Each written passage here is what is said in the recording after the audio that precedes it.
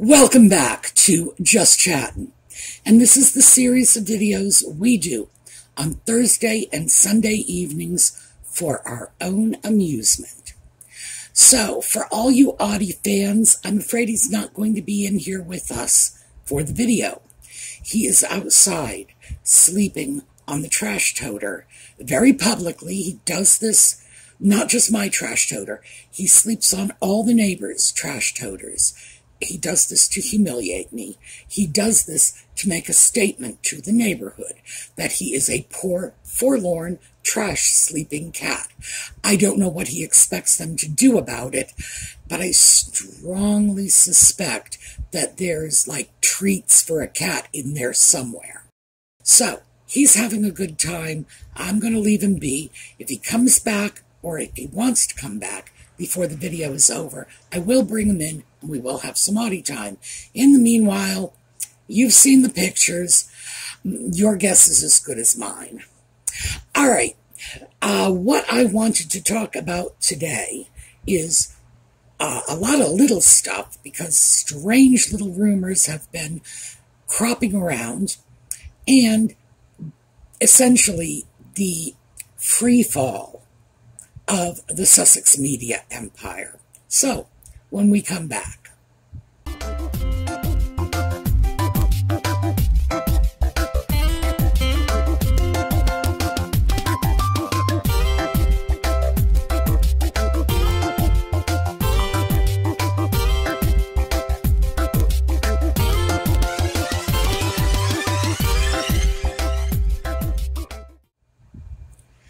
Well, Let's start with nutmeg's popularity.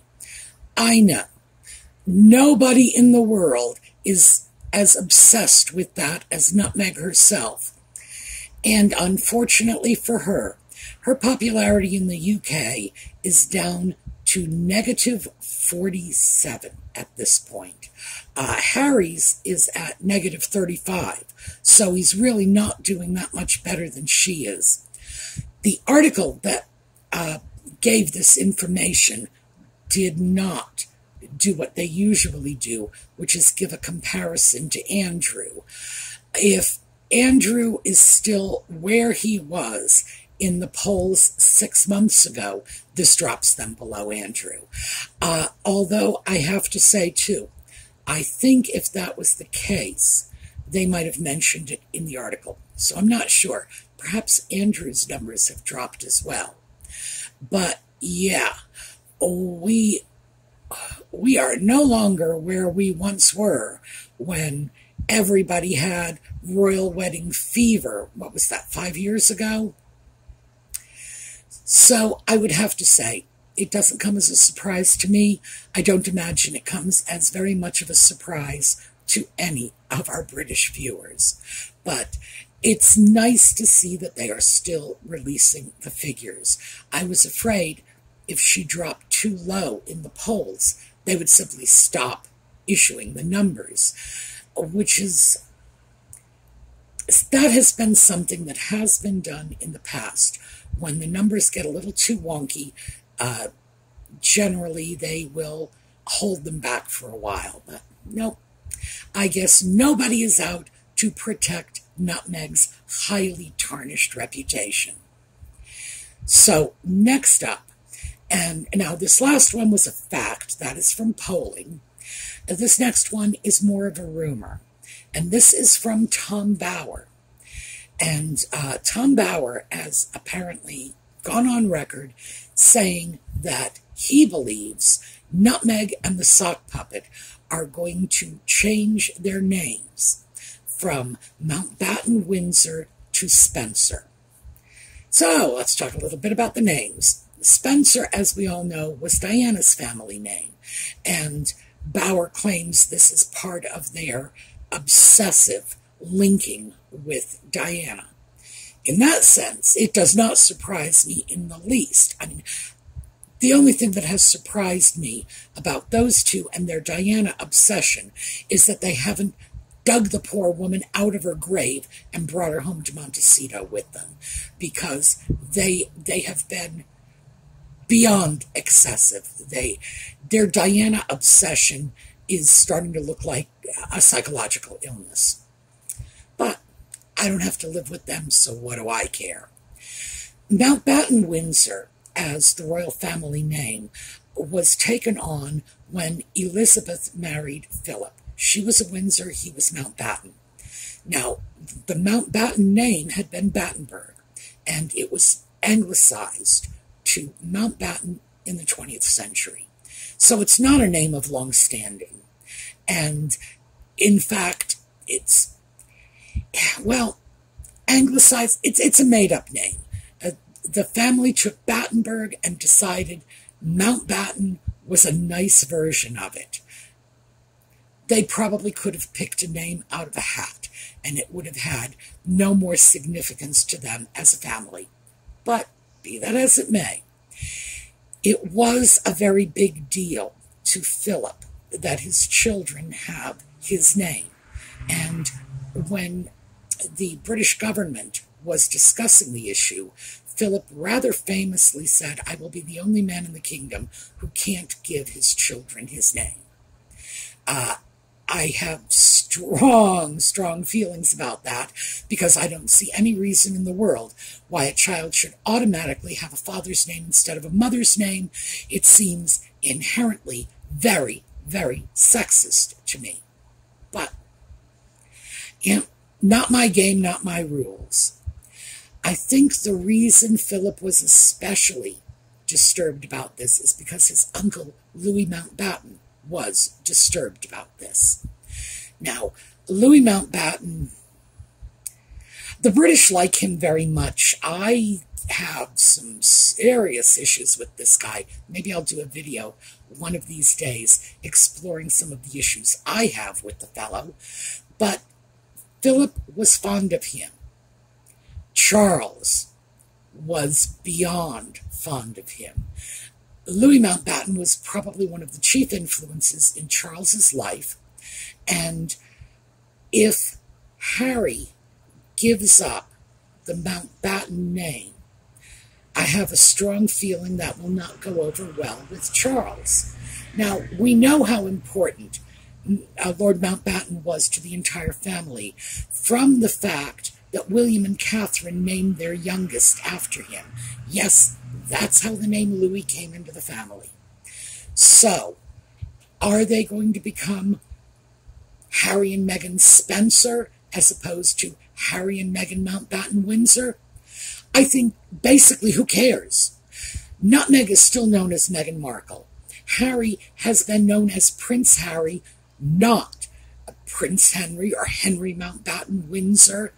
It's a name that's very detached from their daily lives. And they're simply not using the name one way or the other. Yes, the children have the names, and allegedly it is on their alleged little birth certificates. But would this be the sort of family upset that would happen if this took place in in an ordinary family that used that name, used the family name every day? I don't think so. So, on that hand, I think that, yeah, they might be considering doing it. But there's more than this to the rumor. The rumor is that when they become Harry and Meghan Spencer, they are going to give up their titles of Duke and Duchess of Sussex. Well, here's my thought on this speculative, but then again, all of this is speculation. The first part is Tom Bower's speculation. This one is mine. If they do give up the Mountbatten Windsor name, I think their desire to give up the titles of Duke and Duchess of Sussex will be moot because I think Charles will take it from them. I do not think he would allow his son to write him off like that because remember, the name comes from Charles. It is his father's name, his mother's name, and if what Harry does is disowns Elizabeth and Philip and throws his hat into the Spencer camp instead, and remember, these folks are not too fond of nutmeg. I, I think that will make some decisions for Charles. I think it will push him to a point where he will have to pull the titles. Uh, I believe that will make Camilla very happy. I don't see William and Catherine complaining. In fact, I don't see anyone other than Nutmeg and Ginger complaining if those titles get pulled. I think if they did this, Charles would feel, rightly or wrongly, that he had nowhere to go. That if his son disowns him, eh, he's going to have to do, do it lock, stock, and barrel. You know, disown the family, disown the titles. So I find that exceptionally interesting. Now, the reasons I think this might actually be a thing. Ordinarily, I would scoff at this and say, well, this is an absurd rumor. There are some good reasons to believe there might be some credibility. One, their very, very obvious obsession with Diana. That should be abundantly clear. Nutmeg has proven already that she will dis- disown a name if she doesn't like the sound of it. Remember when they spoke about the putative child Archie being the Earl of Dumbarton, and her response was, Nobody's calling my baby uh, the Earl of Dumb anything. She didn't like the name. Eh, she just took that name apart in, in probably the least flattering way she could without ever having considered the idea of naming what what was ostensibly, and I say ostensibly because I'm not sure about this, ostensibly a little red-headed freckled child, Archie. That didn't bother her a bit though, did it? But would she rather have a name like Spencer than Mountbatten Windsor? Oh, I would think yeah. She's already shown us that these names need to be Hollywood names. They need to trip off the tongue.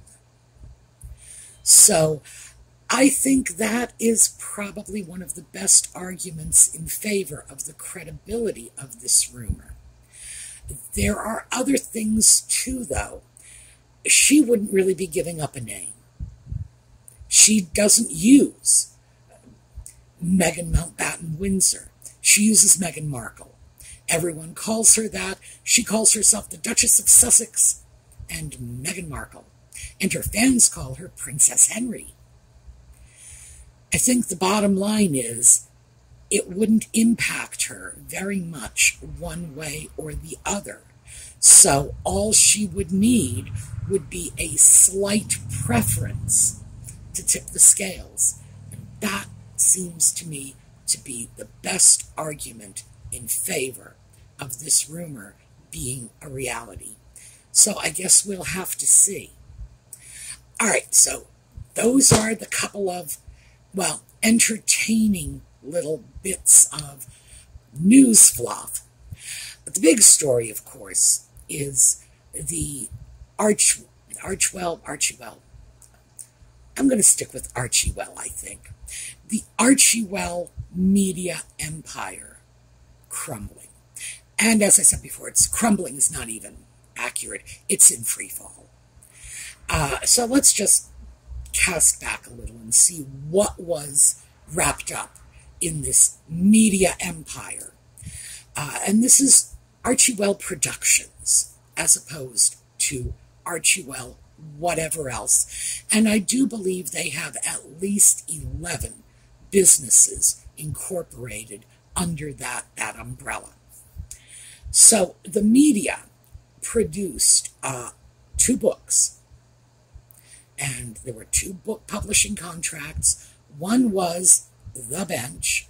We're not going to spend too much time talking about The Bench because I'm saving that. One of these days, when those two Montecito morons shut up for long enough and stop giving me other topics to focus on, I am going to shred that book for you folks because, as an educator, and that being a child's book, This is right squarely in my wheelhouse. And I will tell you, as an educator, I find that book appalling. And if I saw that in a classroom, I would seriously question the, the intelligence of the teacher bringing the book in. Seriously. So let's move away from that. Then there was Spare. And now these are the first two books of what was allegedly a four book deal.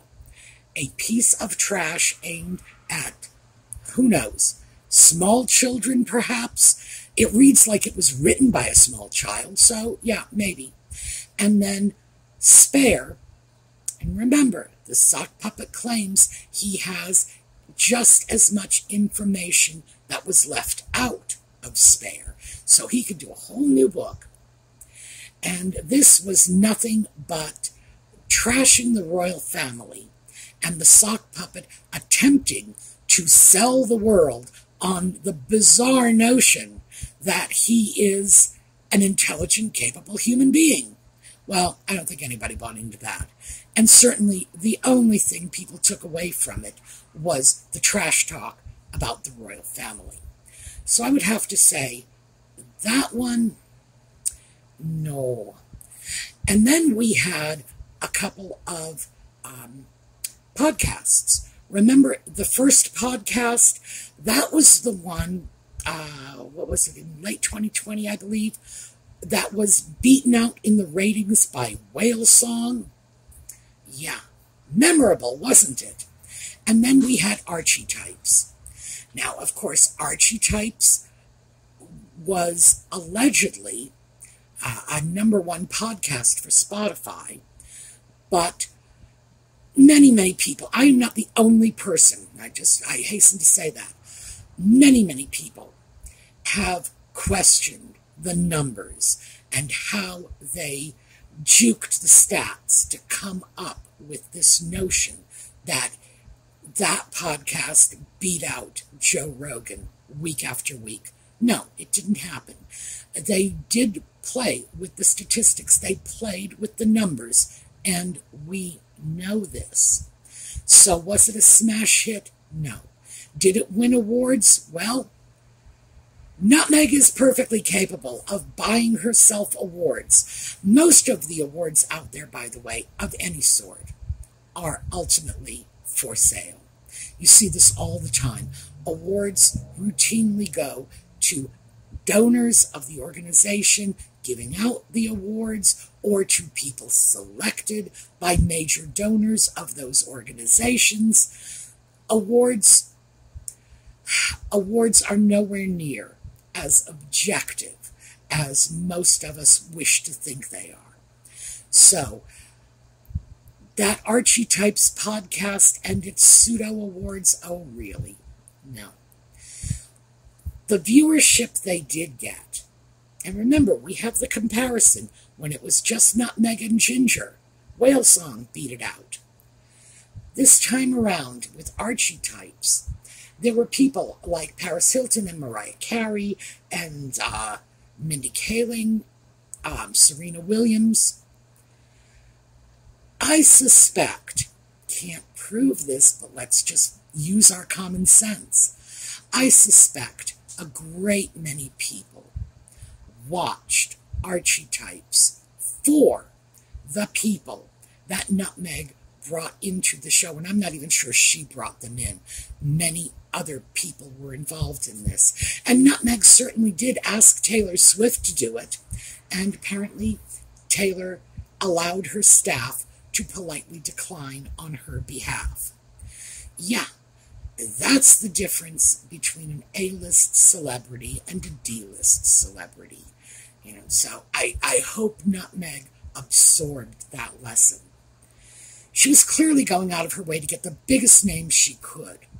And it's interesting because, of course, she didn't much care what they had to say. Everything was about her. It was all about her. And that's the common theme in whatever Archewell Productions has put out. It is about nutmeg and ginger. That's all. And nobody is really interested in listening to those two spoiled, entitled brats screaming, me, me, me, me, me, all day long.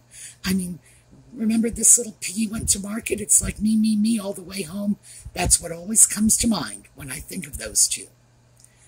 So when we start to look at this podcast, Archetypes, and we remember what a podcast with nothing but nutmeg and ginger in it did, then it seems pretty clear to me that most of the viewership was based on the big name guest stars they were able to suck into this.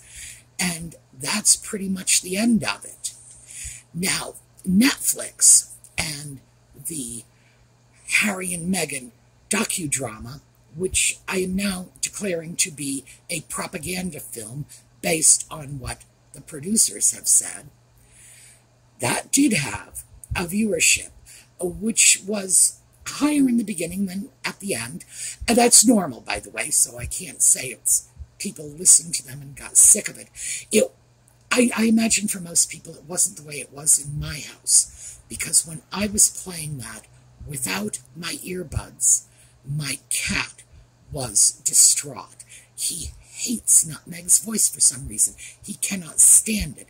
It's just really unsettling to him. So when I was playing that, I would have to put in earbuds or the cat would wail. So I don't know if it was that way for most people, but that's what it was like in my house. Watching that mockumentary was an ordeal. It was a struggle because of the cat. But that one, again, was a propaganda piece.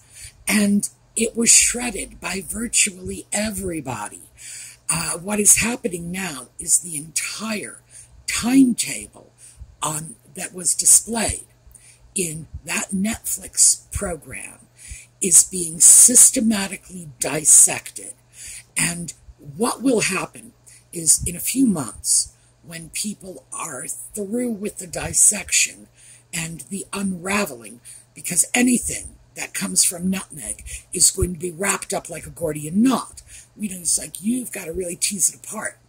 It's becoming very clear that much of it, possibly even most of it, was sheer fabrication.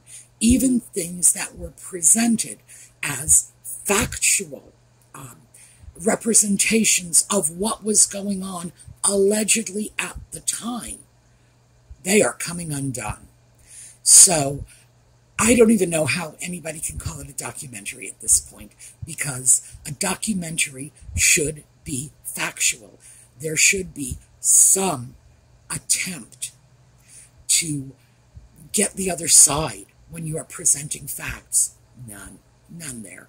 This was nothing but a puff piece for nutmeg and ginger, and even people who might not have realized that at the time are seeing it now. So the Spotify contract has been dropped, and I totally get that. They did not produce the content they were supposed to produce, and Spotify Spotify pumped an awful lot of money into contracting with Nutmeg and the Sock Puppet. And given their financial situation and the fact that they have let so many people go, it's pretty clear that money really needed to be allocated elsewhere. So, yeah, it was a loss for them. Netflix, really, who knows? But one of the interesting things to come out of this as they are in free fall is people are releasing the information on projects that they had thrown out there that were rejected by Spotify, by Netflix, by whoever. Here's my favorite. Apparently, the sock puppet, keep in mind, this is not an intelligent, well educated men. That is so important here. The sock puppet wanted to interview people, famous people, about their childhood traumas Why? Because he and his wife are so freaking self referential.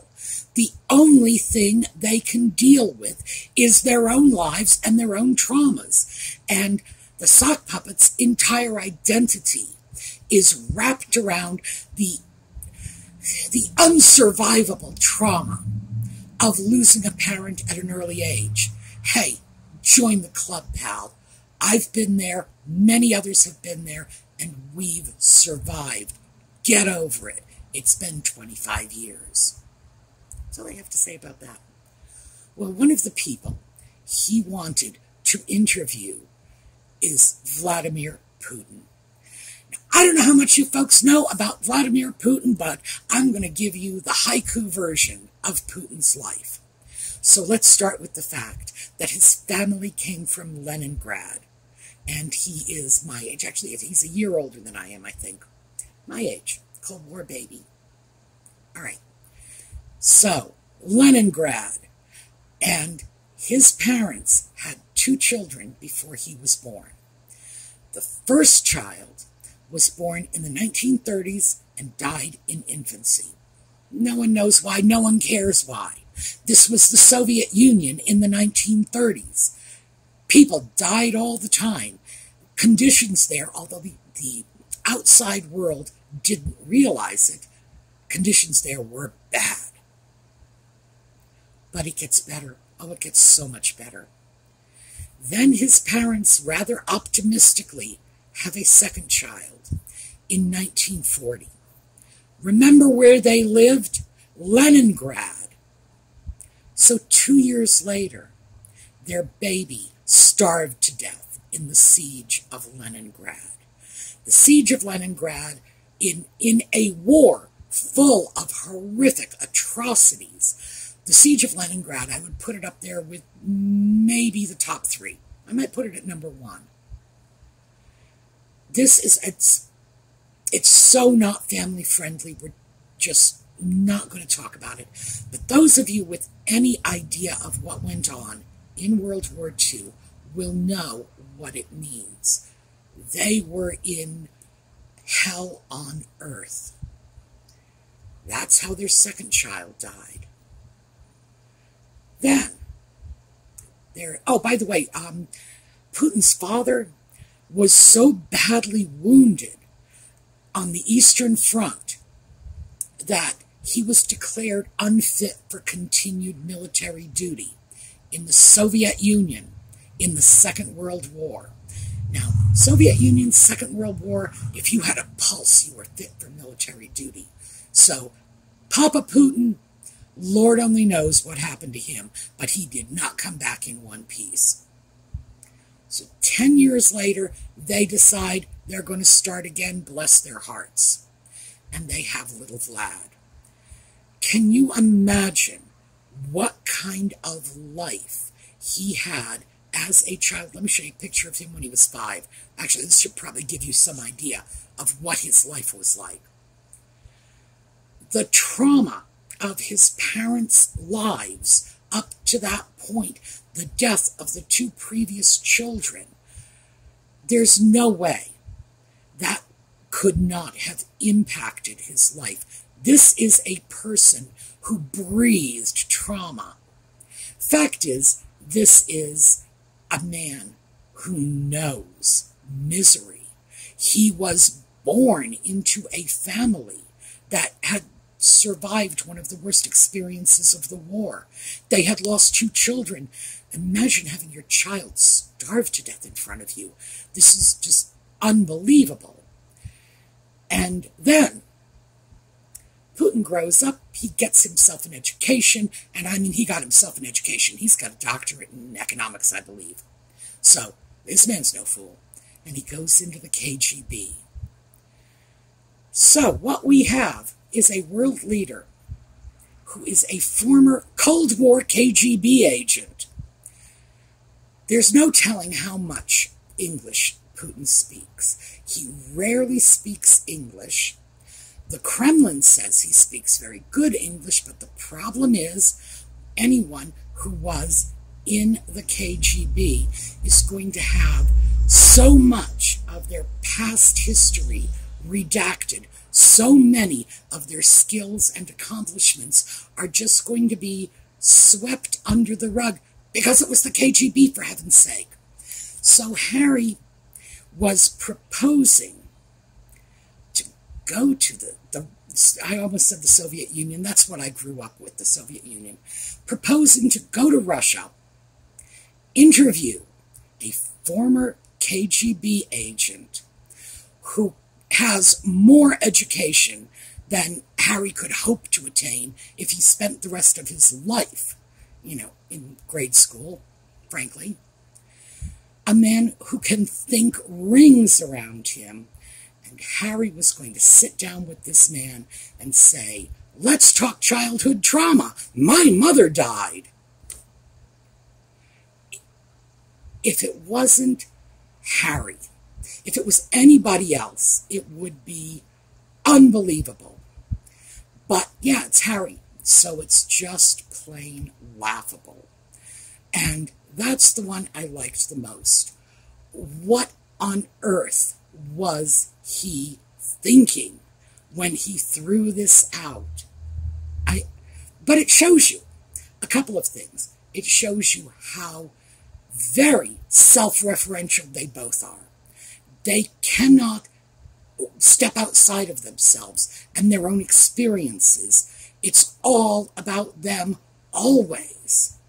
And it also shows you how absolutely unaware they are of anyone or anything else in the world.